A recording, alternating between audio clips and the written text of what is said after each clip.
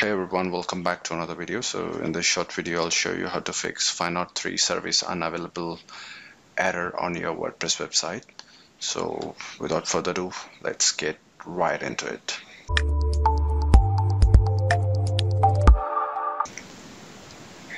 Alright, as you can see on my computer screen and when I'm trying to access my website, I'm getting the I'm getting a 404 error if I try to access the admin portal and if I try to access the website directly I'm getting this 503 service unavailable.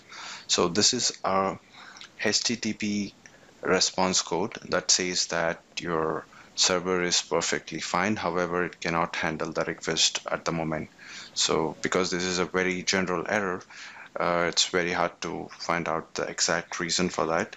So if you already have a website and it's running and you're getting this error you can fix this by going uh, logging into your uh, cPanel and uh, you know accessing the admin portal if you're able to access the WordPress dashboard and turning off your plugins, all the plugins because most of the plugins modify the way your WordPress function.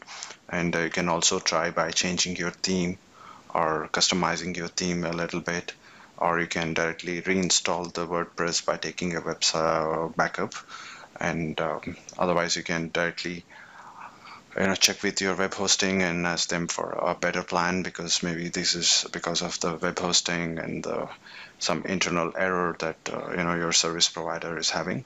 So in my case uh, I don't have any WordPress installed on this. So I'll show you how to fix 503 service unavailable error uh, on a new website or new domain that you just bought and you don't know how to fix this. So I'll go to cPanel and uh, quickly scroll all the way to WordPress Manager by Softaculous and uh, click on install. Just make sure you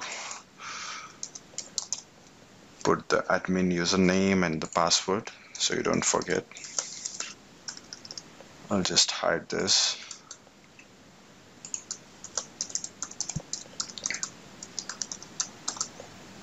and then put the admin email.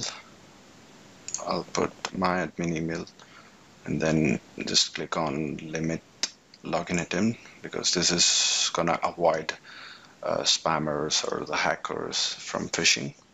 And then once this is done click on install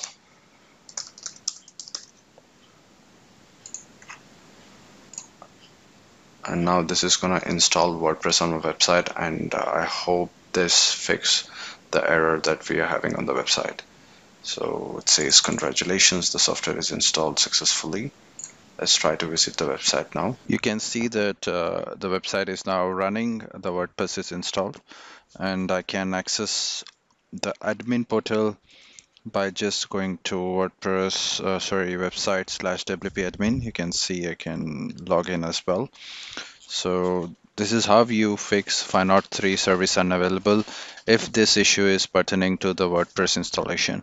However, if you are facing an issue with PHP version or MySQL error, or if you have tried in reinstalling the WordPress and uh, you're getting the same error, I would purely suggest you to contact the web hosting provider. You can go back to the web hosting provider and tell them like you know what i'm facing this error. Please fix this from the remote access or you know from the main server so they can fix it for you as well. The best option is not to break your head trying to you know uh, go through the code. It's better to contact the web hosting if this method is not fixing your error all right. Thank you so much. I'll see you in the next one bye